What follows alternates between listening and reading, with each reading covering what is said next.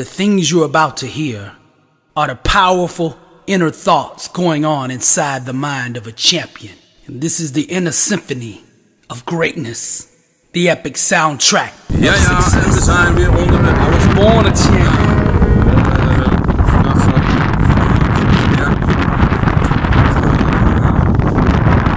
Ja, vier, eerst met de bus. Het is nu 11 uur, kwart over 11 komt de bus.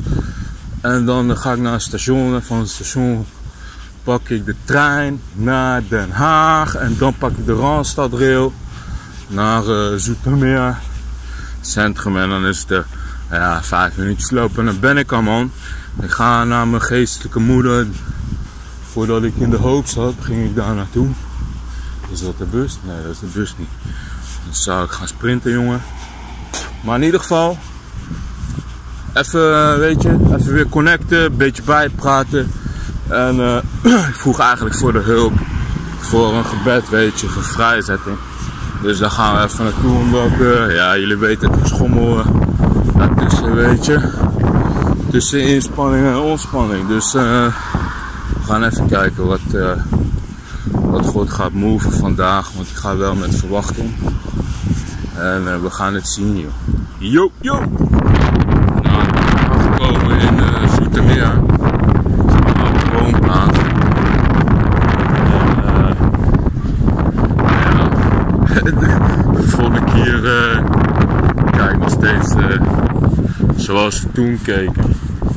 We hebben hier ook een bepaalde frequentie. Maar eh,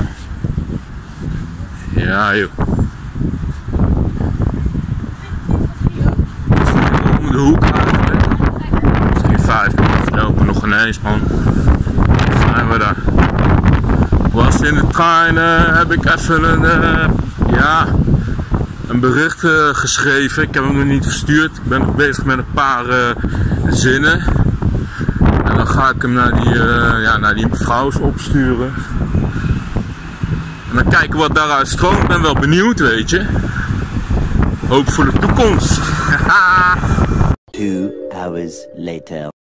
Good morning! Let's start off the day with some affirmations. Okay, you ready for this? Get your mind right. We're gonna take these thoughts captive. Okay. God made me. God will sustain me. God loves me. God will empower me. God is with me. Is on my side. God will carry me. The Lord is my shepherd. I don't wrestle against flesh and blood. I'm a believer and not a doubter. I am who God says I am. This is the day that the Lord has made, and we're gonna rejoice and be glad in. Yo, yo, yo. Ja, joh, we zijn nu even een paar dagen verder. Ik had die dag al wat opgenomen, maar ik kon ja, in die dag verder niet, niet echt veel filmen of zo. Of iets ondernemen, omdat ik zeg maar ontspannen moest blijven. Want ik zat best wel hoog, dus ik moest weer helemaal omlaag. En vanaf daar gingen ze me weer soort van vullen, omhoog brengen. Toen ben ik gaan ontspannen en toen zat ik weer soort van op een lijn. Maar ja, omdat ik daar lang niet ben geweest, weet ik soms niet hoe ik moet functioneren in die staat, snap je? Dus daar ging er weer wat mis. Toen ben ik weer zeg maar een soort van leeg geraakt of zo. En dan moest ik weer ontspannen die volgende dag. Toen hadden we bijbelstudie, ben ik weer een beetje omhoog gekomen. Dus zat ik weer, maar toen ging er weer, ja. Dus we werkten met de buren, ging er wat fout. Maar ik moet dat gewoon loslaten. Ik moet dat niet, eh, omdat ik het nog niet begrijp, weet je. Maar ja, goed, in ieder geval. Lang verhaal kort, komt allemaal wel goed.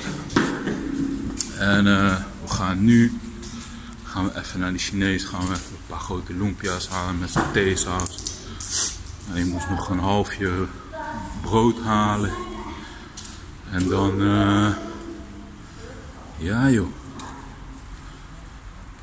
Eh, ja, verder, wat heb ik nog meer meegemaakt? Eh,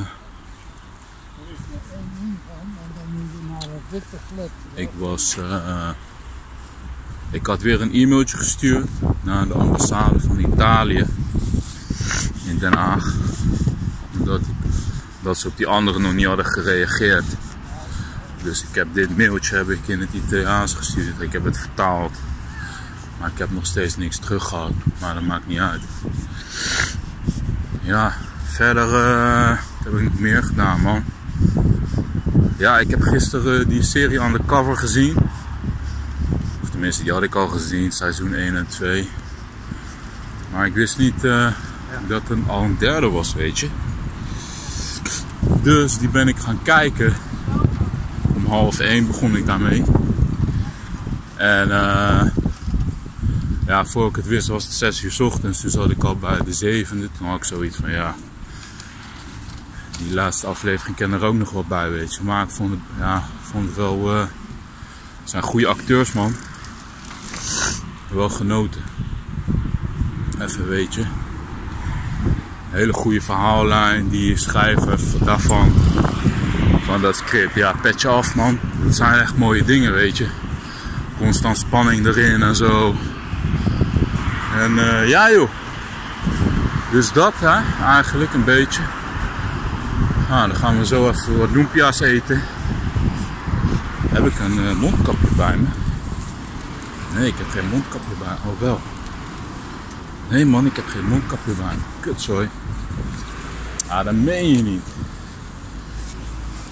Ik ben mijn mondkapje vergeten. Oh nee ja. Gekloot met die mondkapjes altijd. Of hier. Nee, heb ik ook niet man.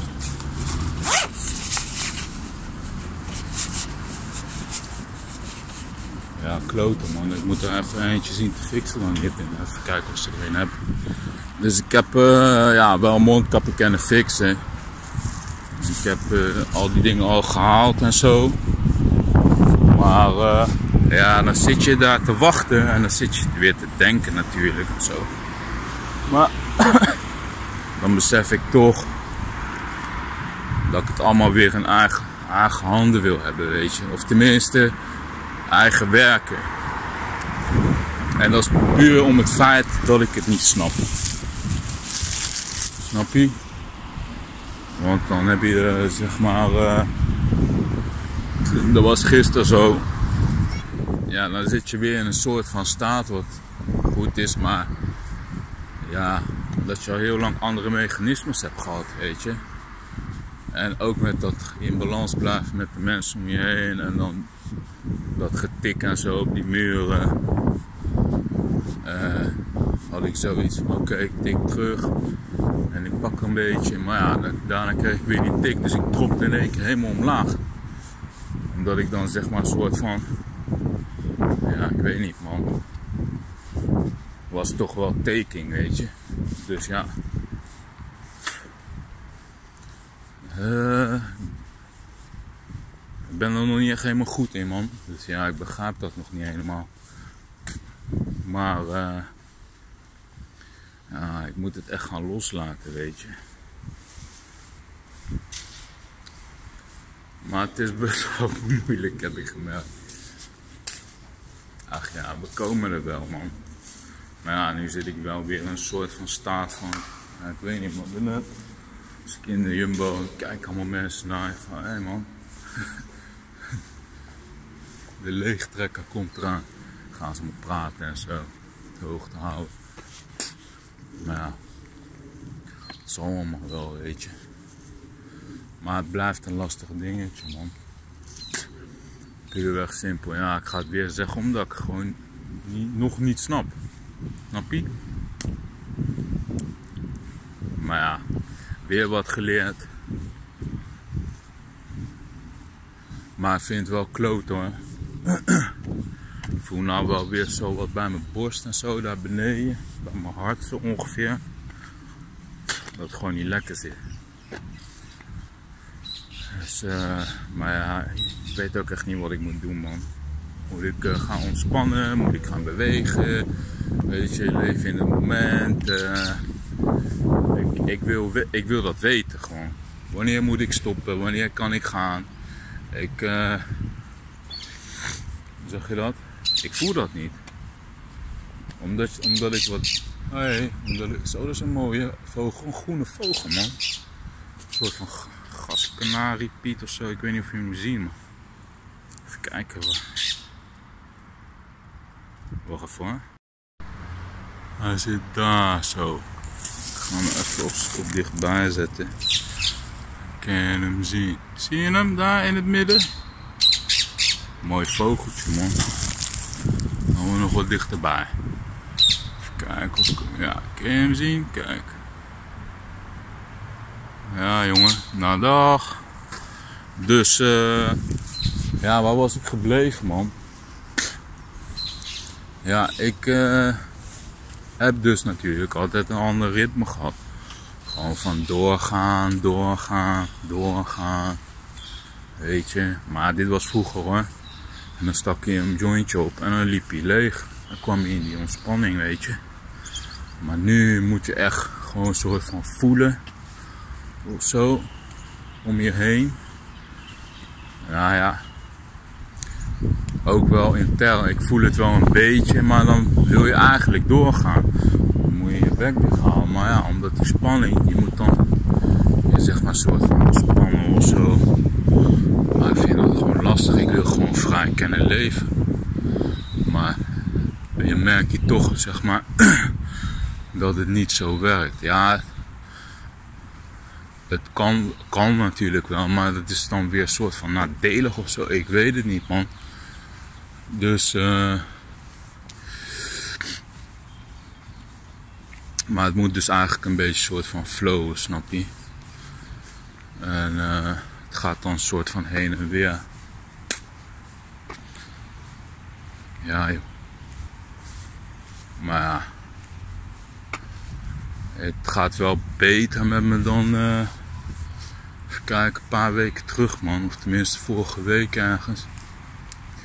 Ik ben wel echt wel hier in de rust gekomen, man. De herberg.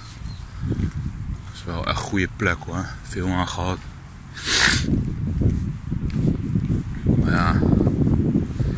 Ja, het is al goed, joh.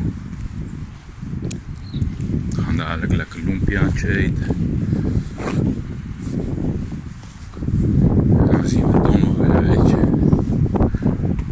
Maar gisteren, kijken van gisteren. Ik had ook heel erg last van lustgevoelens, maar die waren echt heel sterk, weet je.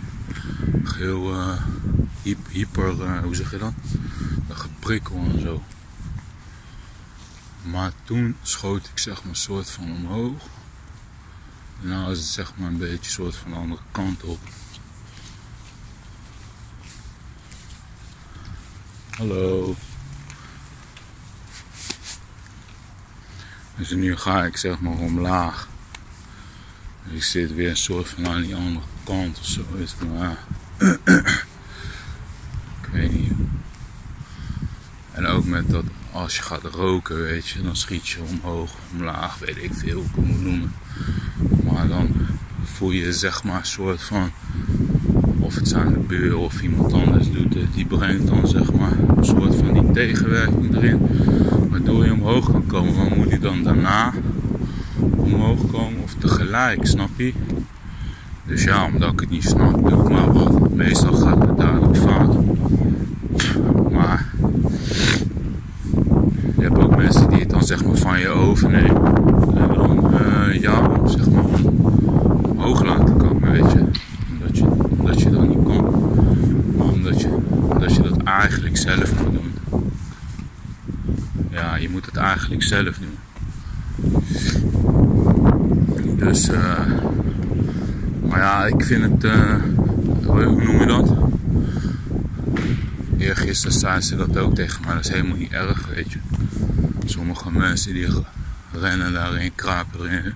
En die vrouwen zijn daar heel erg snel in, man. En goed en zo.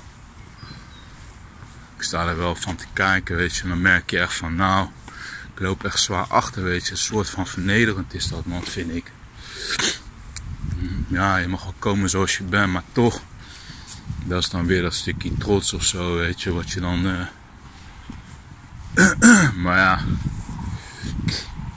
we zijn ermee bezig. En uh, ja, dat komt wel een keer goed joh. Weet je. Maar ja, dan merk je wel echt dat je een beetje zo'n soort van achterstand hebt, man.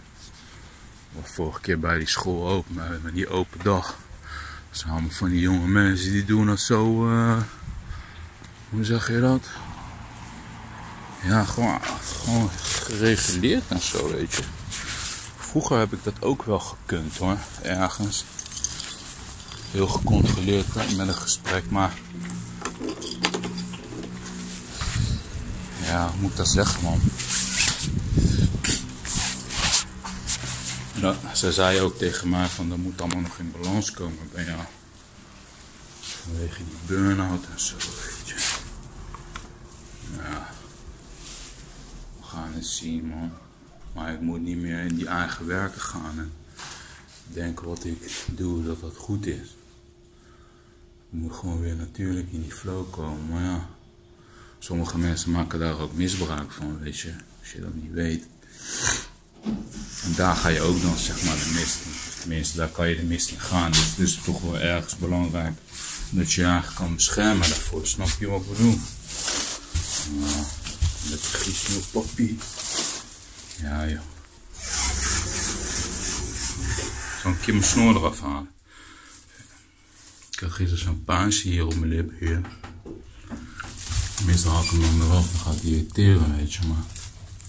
En ik vind het wel echt mooi. Bij mij duurt het heel lang, man, voordat dat, kijk, want in het middenstuk, daar groeit dan zeg maar soort van niks. Ja, ik loop daar ook een beetje maar ja. Ga er steeds weer in. Komt helemaal niks. Op mijn wangen komt er niks uit, man. Zoiets bij mijn kip, daaronder zo.